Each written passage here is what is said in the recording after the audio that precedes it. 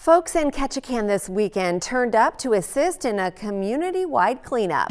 And that's where we'll begin today's trip around Alaska. These photos from the Ketchikan Police Department show the community coming together, all for a good cause of cleaning up their town.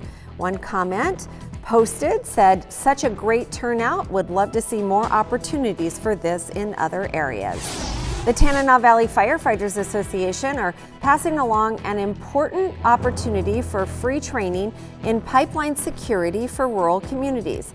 While the training will take place in April, the deadline to sign up is in March. In Fort Greely, the grand opening of Caribrew Cafe and Chinook Winds Bar and Grill at the Aurora Community Activity Center was a huge success. The ceremony marks years of hard work in the making, and they've made this dream a reality. ICE meeting ingenuity at the 58th annual ICE Arch engineered by the University of Alaska Fairbanks College of Engineering and Mines students. The arch tradition goes all the way back to the 60s.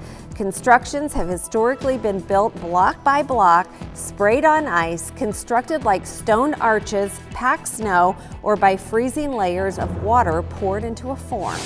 And finally, Kids at Fort Wainwright are able to practice their reading skills by reading to dogs.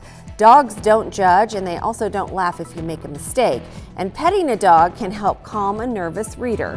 American Red Cross of Alaska therapy dog Thea enjoyed stories read by all the kids. And that wraps up this trip around Alaska.